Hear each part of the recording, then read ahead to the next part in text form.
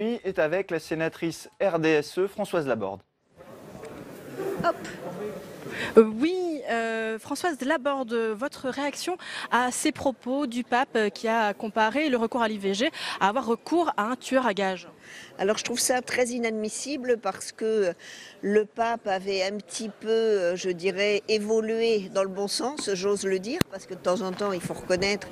Donc j'avais l'impression que par rapport à la contraception, par un certain nombre de choses, il faisait euh, des avancées, mais ça c'est un recul qui est inadmissible par les, propos, la teneur des propos, parce que des, médecins qui font euh, ces avortements ne doivent pas être traités euh, de, tueurs à gages. On se voit actuellement avec de gros problèmes. Ce matin, nous étions en délégation droits des femmes sur la journée internationale des filles avec l'UNICEF on voit toutes les grossesses précoces, les, mariages de jeunes filles et toute leur ignorance euh, à tout ce qui touche leur corps et, et on entend d'un autre côté des propos aussi violents, je trouve ça inadmissible.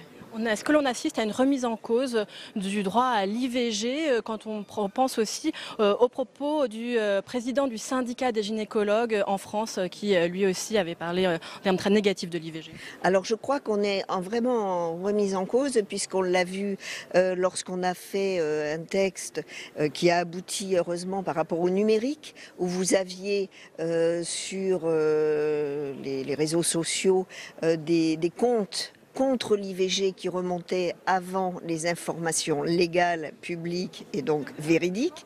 Donc toujours le problème des, fausses nouvelles, hein, des fake news. Et là, donc tout, euh, toutes ces petites choses qui s'empilent, s'empilent dans le mauvais sens. Et donc on est en vraie régression sur le droit de la femme à disposer de son corps. Et je peux le dire, je dois le dire, une femme qui procède à une IVG ne le fait pas de gaieté de cœur. Donc je trouve que rajouter cette chape de, médisance et, de violence, parce que je ne peux pas dire autre chose, euh, c'est inadmissible. Oui, c'est un droit qui est en plus compliqué à, être mis en pratique. Euh, en France, aujourd'hui, quand on le voit, quand c'est couplé au problème des déserts médicaux, certains hôpitaux où il n'y a plus de médecins qui veulent bien pratiquer l'IVG, par exemple, on c'est l'hôpital de la Flèche avait ce problème-là. Alors c'est en effet une réalité. On voit que dans les hôpitaux publics, il y a de moins en moins de médecins qui pratiquent. Dans les, euh, on a aussi beaucoup de cliniques privées qui ferment et donc elles ferment bien sûr pour les accouchements et le suivi des grossesses, mais ça fait aussi des services en moins. Et c'est pour ça qu'en ce moment, d'ailleurs, certains syndicats de sages-femmes se posent la question de pouvoir éventuellement pratiquer ces IVG. Elles ont le droit de le faire par la loi de 2016 sous forme médicamenteuse et c'est très encadré. Et elles se posent la question de savoir si elles pourraient avoir une formation supplémentaire pour le faire aussi par aspiration. Excusez-moi, c'est de la technique, mais euh, ça permettrait aussi de compenser un certain nombre de manques et pour que sur le territoire, parce qu'il y a le territoire métropole mais aussi outre-mer, nous puissions avoir euh, cet accès à euh, pratiquer euh, ces IVG. Dernière question, qu'est-ce que vous inspire sur la marche du temps alors que c'est un droit qui avait été acquis avec Simone Veil? Ah ben, on régresse, on régresse. Simone Veil avait fait un énorme travail.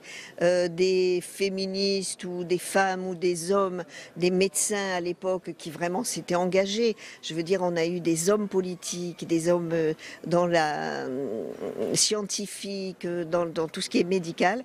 Et aujourd'hui, chacun se retranche devant des, principes religieux, de la moralité, je dirais. Vous savez, on parle des fois de psychologie de comptoir mais j'ai envie de parler de moralité de comptoir et de voilà, de, je suis un peu euh, affolée, voilà. Bien, merci euh, beaucoup Françoise Laborde d'avoir répondu à mes questions après euh, ces propos donc du pape autour de l'IVG. Merci beaucoup Tam. La séance de